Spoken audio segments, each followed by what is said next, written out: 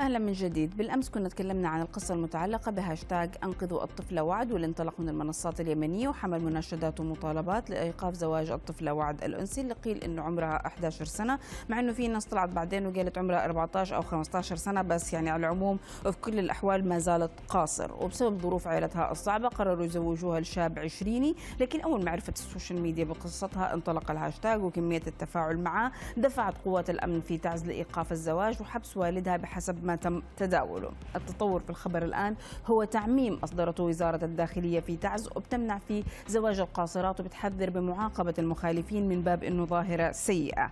التعميم اللي عارضينه أمامكم أعاد زواج القاصرات للواجهة وعاد الحديث عن الموضوع. وكيف أنه الجريمة لسه مستمرة رغم أنه زواج القاصرات قضية يعني قضية قديمة جديدة نقدر نقول عنها واليمنيين حتى متعجبين. كيف أنه وصلنا لهذا العصر والناس لسه بتتكلم عن هذا الموضوع وبتحذر منه شفهيا وبالتعميمات والبيانات بدون أي إجراءات أو قرارات ملموسة. وللآن ما طلع أي نص قانوني رادع ومانع له أو أقلها يحدد سن للزواج في البلد. على العموم تنضم إلينا من عدن عبر الهاتف عضوة اللجنة الوطنية للتحقيق في انتهاكات حقوق الإنسان اليمنية القاضية اليمنية إشراق المقطري. أهلا فيك معنا أستاذة إشراق. يعني التعميم الجديد إيش أهميته؟ أم هو مجرد خطوة رمزية؟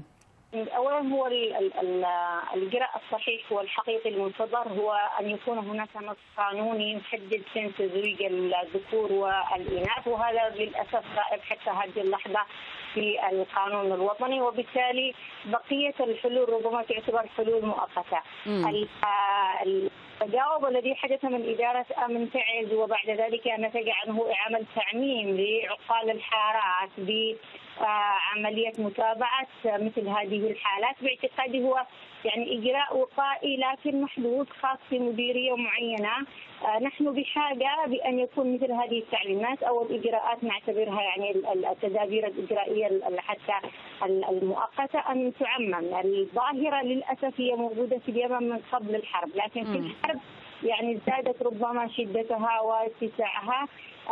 أسبابها ربما اختلفت بشكل كبير، كانت الأسباب يعني ربما بشكل كبير عائده إلى في بعض المناطق إلى العادات والتقاليد، لكن هذه الحالة كمثال التي حدثت في تعز ومثلها أيضا تحدث في مديريات كثيرة، يعني سببها الرئيسي هي الوضع الإقتصادي، الأسرة هذه أسرة يعني ناجحة في داخل المدينة من مكان إلى آخر، أسرة وضعها نقول الاقتصادي صعب، لهذا ربما يروه نوع من المبرر بأنهم لا يستطيعون عملية استمرار تعليم الفتاة أو حتى أحيانا توفير كل متطلب متطلبات الحياة الغذائية والدوائية والعلاج. يعني أنا فاهمة وجهة نظرك إنه الأسر يعني أيضا هي تحت ضغوطات وكثير أشياء إنه يعني أفهم وجهة النظر هذه إنه الحياة صعبة على الجميع لكن في بغض النظر عن هذا كله تزويج فتاة في هذا السن هو جريمة وما هي أول مرة تصير وصارت قبل كده وبالراحة حتصير آه كمان ومو هي بس في حتى في اليمن في أماكن أخرى. إيش نقدر نسوي تجاه هذا الموضوع؟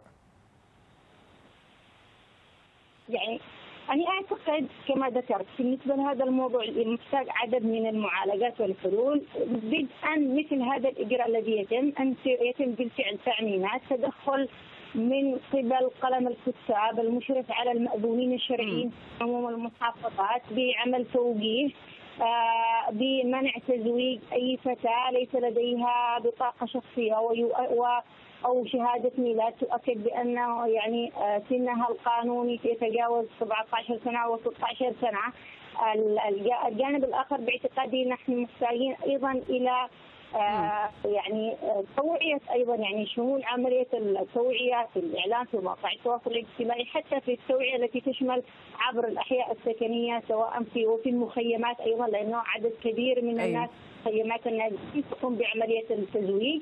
هذه ربما حلول نقول تضغط على أولياء الأمور ويعني تحد أيضا من قيام المأذونين الشرعيين بعقد يعني زيجات أو عقود زواج لطفلات صغيرات، هناك طبعا حلول ربما تكون مختلفة ومحتاجة إلى وقت أطول مثل سن قانوني عندما ينعقد سن النص القانوني عندما ينعقد مجلس النواب وأيضا موضوع وضع حلول يعني اقتصادية أيضا مساعدة وتخفف من يعني حالات الوضع الاقتصادي لبعض الأسر إضافة ل يعني العمل على تغيير المفاهيم المتعلقة ببعض العادات والتقاليد السلبية المتواجدة لدى بعض المناطق النائية والريفية والجبلية البعيدة ربما عن الشق الإعلامي طيب. والخطاب التنموي طيب يعني إحنا يعني على الأقل سعداء في هذه الحالة أنه تم إيقاف هذا الزواج. وفي كثير حالات فردية طبعا كان فيها تدخل وتم إيقاف هذا النوع من الزواجات. وأنا عارف إنك أنت حضرتك ناشطة في هذا المجال فكل الشكر لك والشكر على هذه المداخلة. كانت معنا عضوة اللجنة الوطنية للتحقيق في انتهاكات حقوق الإنسان اليمنية القاضية اليمنية إشراق المقطري. شكرا لك.